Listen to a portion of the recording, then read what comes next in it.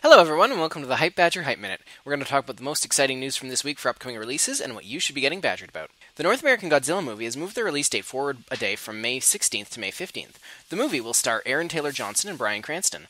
The film will be a retelling of the Godzilla story, where instead of being born from nuclear radiation, Godzilla was just an iguana on meth. The newest installment of Tropico will be released this spring on May 23rd. Tropico 5 will allow players to control a communist empire throughout history and develop their country against other nations such as the USA and Russia. Rumor has it that Kim Jong un will be using it for training. Finally, EA will be releasing their UFC game this July. The game will be releasing for the Xbox One and PS4 on July 17th and will allow players to compete in mixed martial arts matches. EA has announced that Bruce Lee will be a playable character in the game, which which is just awesome. This has been the Hype Minute. All products can be followed on Hype Badger. You can follow us on Facebook, Twitter, and Google+.